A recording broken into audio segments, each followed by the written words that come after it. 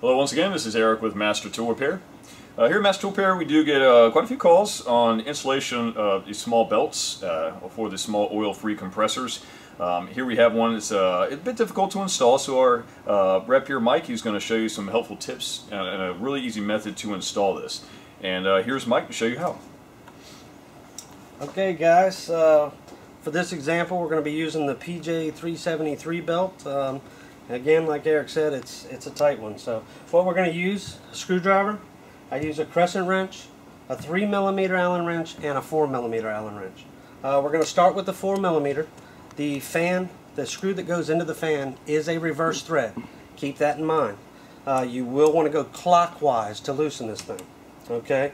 And the reason I have the crescent wrench is because I found it a little difficult to get off. So um, you can use the crescent wrench for torque. Uh, fit, fit it right on the end, get it as tight as you can, and then use it for torque while pushing down. Go ahead and, uh, you know, knock that thing loose. Um, this fan will come right off. I've, I've taken it off already because, you know, length of the video, we don't want to be on here all day now. the uh, screw that's in the bottom of the connecting rod is the 3 millimeter. And again, if you need to use the crescent wrench to break it loose, you can. Uh, just be careful.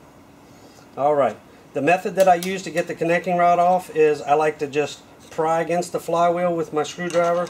Uh, just go back and forth, back and forth until it comes off. Um, some are probably going to be tighter than others, um, but just keep working it. It'll come off. Okay, there we go. Want to lay it to the side, turn it, get it out of your way. Alright, now the belt. I found the easiest way to do this is to go to the underside, okay? So you want to get the belt under the flywheel.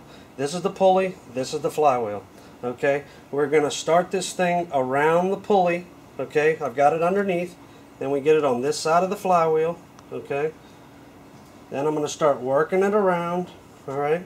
I want to get my finger right up here on the bottom side on the belt. Now you want to have this tight. Make sure that you're going to be able to turn this thing. I take the screwdriver because I want to make sure this belt stays on this pulley. So I like to keep the screwdriver underneath the belt without damaging it. So you got to be careful with the tip.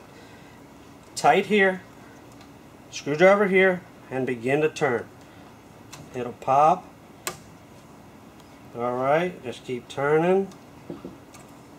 Keep that screwdriver up under there. You want to keep it on the pulley.